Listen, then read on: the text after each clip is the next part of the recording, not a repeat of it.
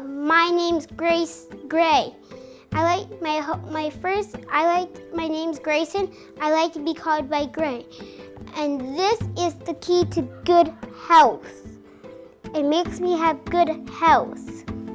Um, for a very long time, I have a bad memory, so I've been going to pain clinic for a very long time. I don't think they're doing a very good job. Maybe they need a little bit more support to try and help ASAP, like quicker when they're having the pain. I, know they have other kids, but just to get in right away so we're all settled, we can get me laying down. Because that's the only thing that really stops my pain when I lay down. And that might help with other kids. So if they just get settled, if they make get the kids settled in quicker, they just can lay down to help their pain and make them feel better quicker as well. Before I came to the pain clinic, I was just in so much pain I had to lay down for my whole life mostly. I was having pain right in right in the beginning of school and I had to come home right away.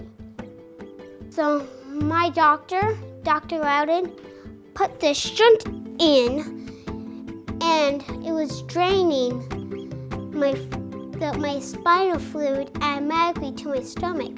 So it stopped what was growing in my head. So I'm really glad that Dr. Loudon did that for me. Because I feel like he looks out for me. The only thing I care about the pain clinic is to do is to take care of other kids and me.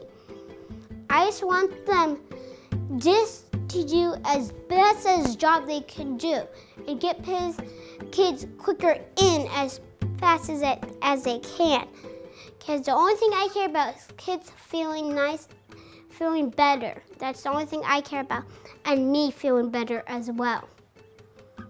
That's the only thing I care about for the pain clinic to do. So if you see any kid in pain, let them know about the pain clinic. I love baking. I think when I grow up, I'm going to be a baker and bake lovely desserts.